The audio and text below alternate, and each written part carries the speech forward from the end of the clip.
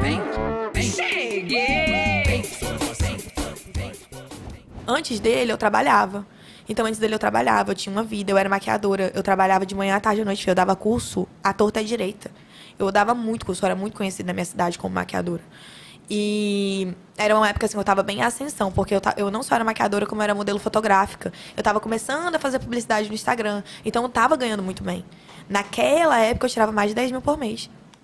E ele que me fez parar de trabalhar. Ele que me tirou de dentro da casa da minha mãe. Ele que fez eu parar de falar com a minha família. Então, se ele me tirou de toda a minha vida pra entrar na vida dele, fez tudo o que fez, me largou grávida depois de todos os tipos de violência que você imaginar, com o psicológico todo fudido, o mínimo que ele poderia fazer era me colocar em um lugar pra morar com a minha filha. Com certeza. Tipo, o mínimo. E na época eu falava assim, ah, eu vou pedir ajuda da minha mãe. Ele falava, não precisa.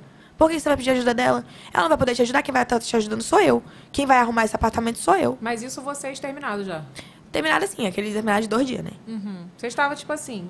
É, terminou, Ter- mas aham. terminou, ele falou, aí no primeiro dia ele não aceitou, no segundo dia ele, você não quer sair desse apartamento mesmo, aí eu, Tipo bipolar. é, tipo, aí eu, mas, ué, mas eu pedi ontem pra sair, você falou pra ela não sair, mas agora você tá mandando sair, tipo, não tô entendendo é nada.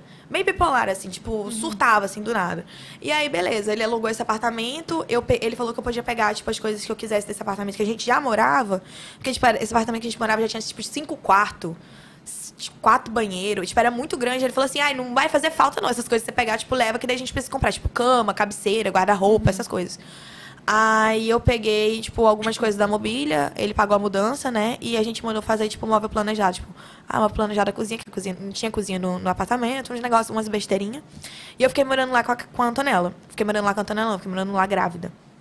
E aí, ele tinha mandado a Rúbia, que era uma mulher que trabalhava na nossa casa, e ela se fazia super de minha amiga, ela me adorava, pra ficar. Tipo, ele- ela passava um dia na casa dele e um dia na minha casa, pra ele não contratar outra pessoa pra ficar comigo, porque como minha gravidez era de risco, eu não podia fazer as coisas de casa, eu não podia eh, lavar as roupinhas, preparar o enxoval da Antonella, e eu não, não falava com minha mãe, lembra? Que ele falava que não precisava da minha mãe, da minha irmã, de ninguém. Então, ele tipo, colocou a Rúbia ali pra me dar o suporte, a Rúbia se fazia muito de boazinha comigo.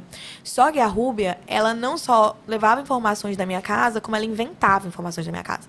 Então a Rúbia inventava tudo que tu imaginar de ruim que eu tinha feito. Eu nem saía da cama, porque eu não podia. Mas ela inventava que eu tinha saído, que tinha ido homem lá. Menina, uma confusão. E aí, e aí ele achava que aquela casa, aquele apartamento era tipo uma casinha de boneca. Ele passava o final de semana na gandaia com um monte de, de mulher lá na, na casa. E durante a semana ele queria to- tomar café da manhã, almoço e janta no meu apartamento. Tipo, Eu imaginei isso, eu ia te perguntar isso. Se, Aí, tipo, tipo, quando ele ia lá, ele queria ficar com você. É, eu queria, mas tipo, não tinha. Primeiro que eu, eu, eu tava com, com nojo dele. Segundo que a minha gravidez era de risco. Então, tipo, eu levantava da cama, ia bem devagar, sentava na sala e, tipo, eu não podia fazer muita coisa.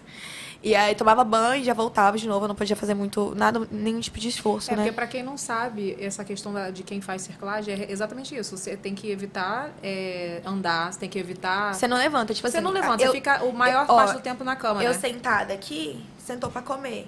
Pra você levantar, aí vem uma pessoa. A pessoa Pra precisa fazer a pressão. É, assim. tipo, sabe quando você faz cirurgia que, de plástica e a pessoa ela te pega pelas costas Uhum. e levanta? É meio que isso, assim, você não pode fazer esforço pra nada. Você vira de ladinho. Era até absurdo ela inventar que tinha gente indo lá no apartamento. Era, mas é. Calma que ela inventou mais coisas. Cheguei! VacaCast.